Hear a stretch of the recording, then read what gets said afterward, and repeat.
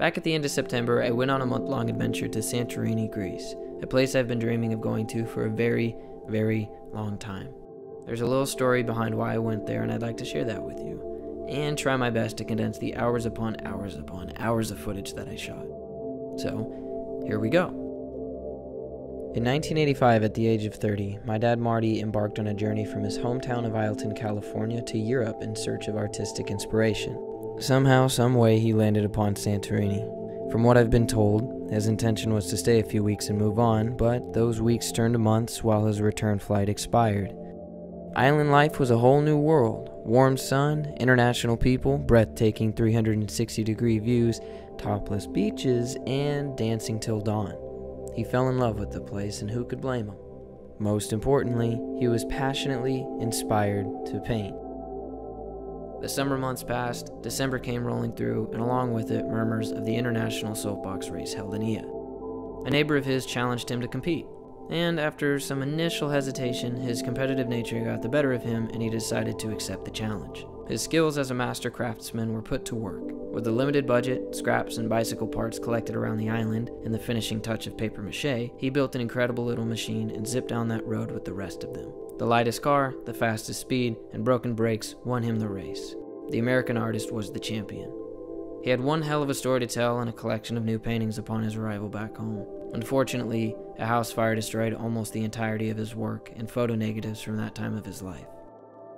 So he returned to the island in 93 to paint a new series and brought with him a camcorder to document this trip.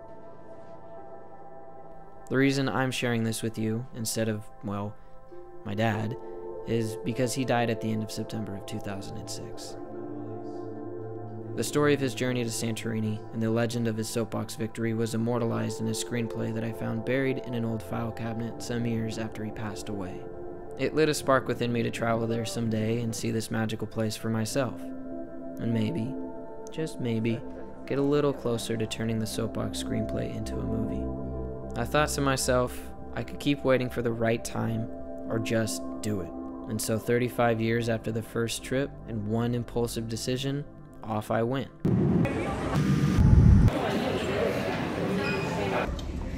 Last plane to Santorini, baby.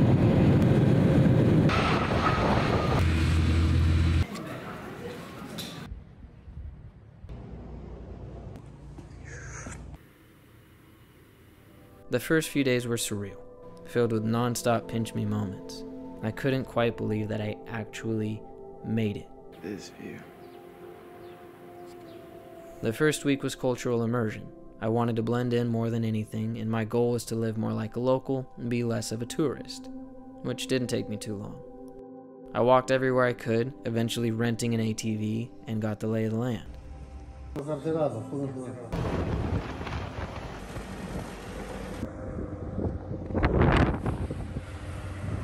Made friends with the cat back at my Airbnb, found a basketball court nearby, and settled into a little routine.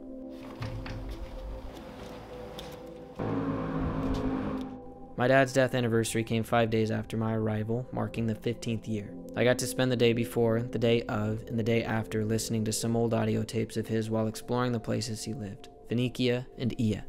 On those walks around the villages, I stumbled across a few of the subjects of his paintings, specifically Belzavia and Phoenicia Village. To see those in person was pretty crazy.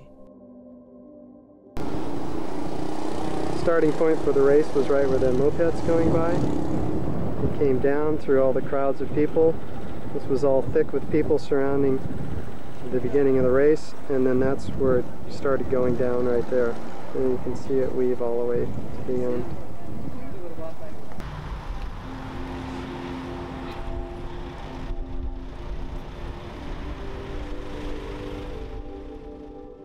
I walked up and down the road of the soapbox race a few times on this trip.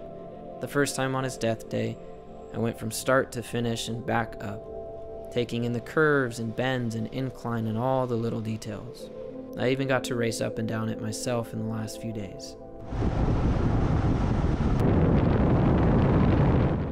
I suppose it's pretty obvious, but it was pretty surprising to me. It's an almost entirely different place than it was 35 years ago. I mean, I only know what I know from old photos and hearsay, but it felt pretty substantial. It's fully paved and packed with a non-stop flow of massive buses, cars, and littered with ATVs. The road is lined up and down with new hotels, cafes, parking lots, you name it. It's busy. I can only imagine what it was like back then. I wish I could have seen the race live. A week before my flight, I did a little detective work and found one of my father's closest friends who we met back in 85.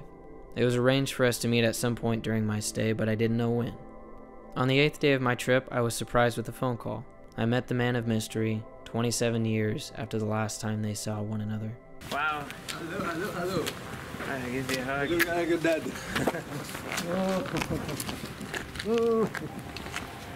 Oh man, hi. How are you? I'm good. How are you? Feels like a That's your dream. dad's. Our embrace felt like I had met a long lost brother. I got to share the old photos and my dad's camcorder videos from way back when, and it created a beautiful moment that I'm extremely grateful to have been a part of.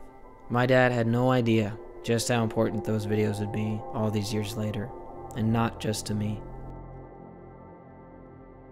Athens called my name halfway through October. Felt I needed to try the ferries out and have a mini escape from the island to get a fresh perspective. And Athens was dope. I would love to go back there soon. Also, the ferries are pretty cool too. I only got a little seasick. Watching the sunrise on a ship? Bitch. On the third week, I caught the common cold, and that put me out of business for a few days. Luckily, the weather outside was cold and stormy to match.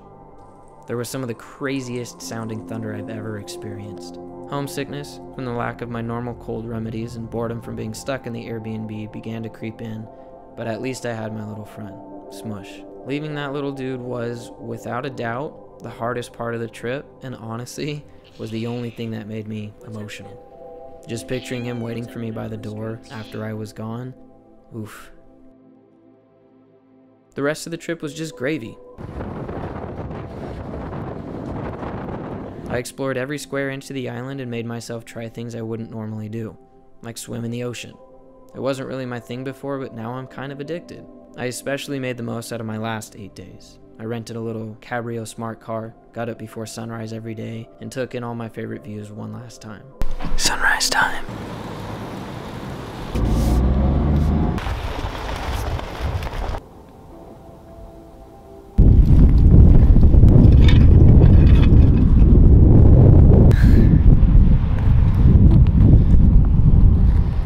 Not too bad, right? The sun hasn't come up yet, but there's nobody else out here, which is why I like this. And it's all like volcanic rock. Cool texture, it's kind of slippery though, so I might die.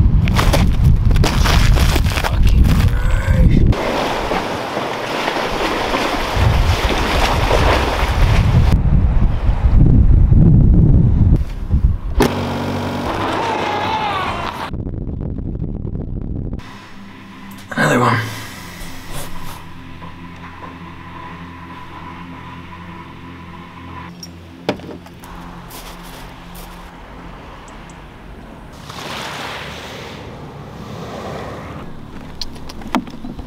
Look at you go. it's quite nice. Look. Sunrise is my favorite time of day anywhere in the world, but it was especially amazing there. It's quiet and peaceful, with no traffic, and there's no hordes of annoying and spatially unaware tourists swinging around their selfie sticks. You get to see all the locals and animals wake up and have the best viewing spot all to yourself.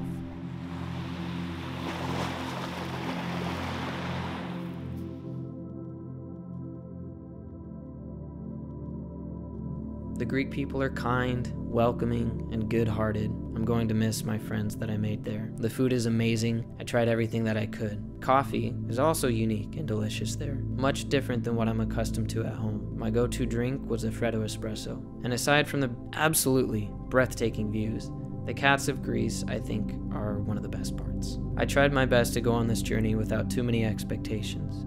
Any that I might have had regarding the island's beauty were blown away. Though Subconsciously, I think I went in with a hope of some form of catharsis related to my dad, and to be honest, I don't really know if I found what I was looking for. But that's okay, it's probably just the product of time. It's funny, I was looking to emulate my father's solo adventure and thought that I too would cancel my return flight and stay for a while, but I found that for me, a month was perfect. It was an incredible learning experience, and I got what I needed out of it. It was a band aid that needed to be torn off. There's a lot more of the world to see, and that had to be done first. I highly recommend visiting the Greek islands. No matter how amazing it may look through photos and videos, nothing compares to seeing it in person. I'm super excited for the next visit and very much looking forward to being my mom and sister's tour guide. Should have been my dad's job, but I'll happily take the lead.